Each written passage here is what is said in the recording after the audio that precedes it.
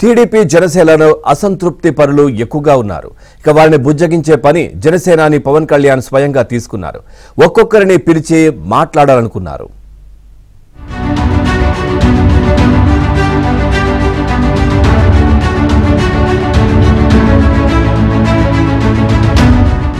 Janasena అసంతృప్తులపై party అధిష్టానం దృష్టి పెట్టింది.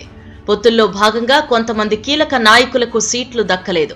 పార్టీ పరిస్థితి పొత్తులను పరిగణలోకి తీసుకున్న జనసేన ఇరవై నాలుగు స్థానాలకే పరిమితమైంది. దీంతో అసెంబ్లీ ఎన్నికల్లో పోటీ చేయాలని భావిస్తున్న అందరికీ న్యాయం చేయడం కష్టంగా మారింది.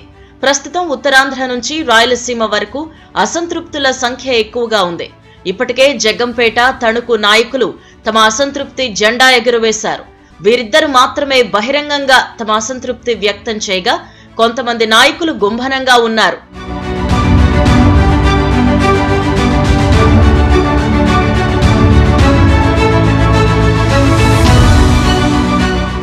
జనసేన అధినేత పవన్ కళ్యాణ్ పై నమ్మకంతో ఎవ్వరూ బయటపడడం లేదు.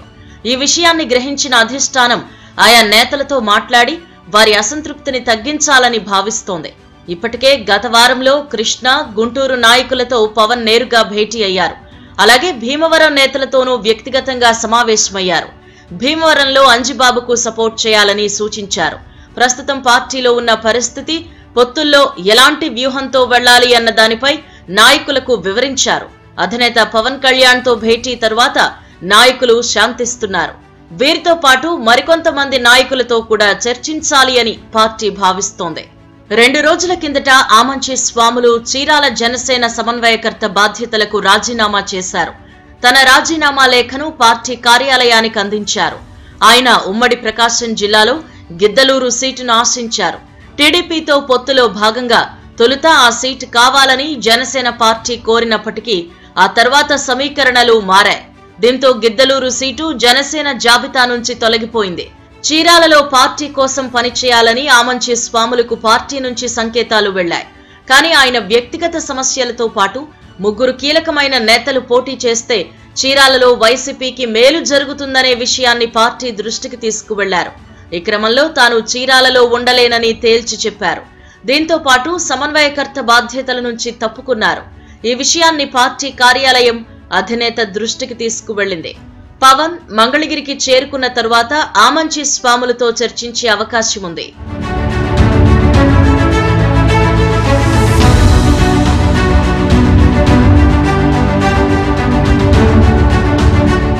రాయలసీమపై కూడా పూర్తి స్థాయిలో దృష్టి పెట్టాలని అక్కడి నాయకులు పవన్ కళ్యాణ్ను కోరుతున్నారు.